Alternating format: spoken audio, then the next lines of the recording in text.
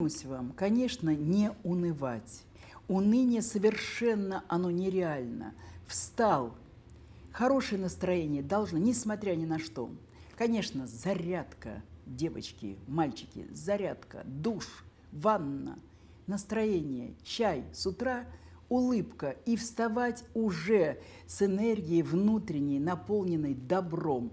Убрать жестокость, ревность, зависть не нужна.